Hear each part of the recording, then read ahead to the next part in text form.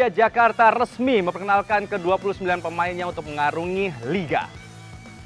Dan Persija juga menetapkan Jakarta International Stadium atau JIS sebagai home base Macan Kemayoran musim 2024-2025. Persija Jakarta memperkenalkan para punggawanya untuk musim kompetisi 2024-2025. Bambang Pamungkas selaku manajer tim secara resmi mengumumkan 29 pemain Macan Kemayoran di hadapan media sekaligus menetapkan Jakarta International Stadium JIS sebagai home base Macan Kemayoran.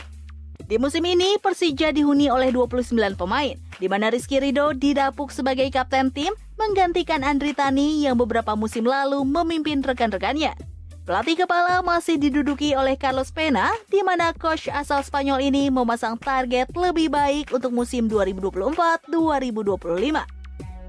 The hope is to compete every game. Every game we have to look into the short term. Okay, we have to grow game by game. Uh, I think the precision has been good in terms of preparations. Of course, the, the results in President Cup were not the good as we wanted, but the preparation is good, the players are getting ready, and I think the squad is ready for the first game against Barito.